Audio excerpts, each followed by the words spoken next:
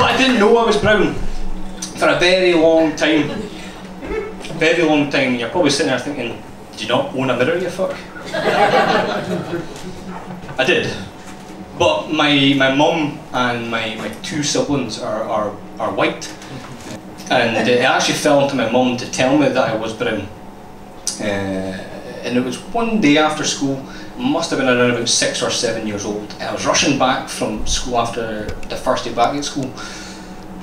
I was at school by the way, I told you that already.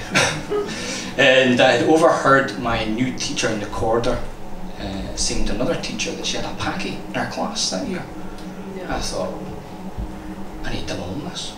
So, great excitement on my face, dashed back home, got home. Mum, you're never going to believe this. She's like, what's the matter? I said, Mum.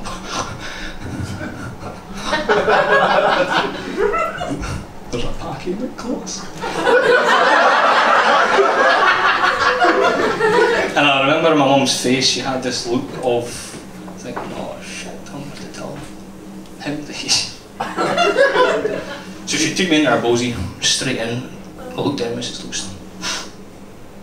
That packy is you.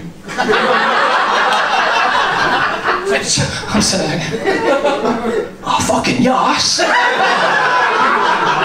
I'm sitting there thinking to myself, she's telling me that I've got fucking superpowers. Because I didn't know the sort of the stick that went with being brown. So the next day when I went to school, thinking it was such a positive thing, I was a fucking badge of pride.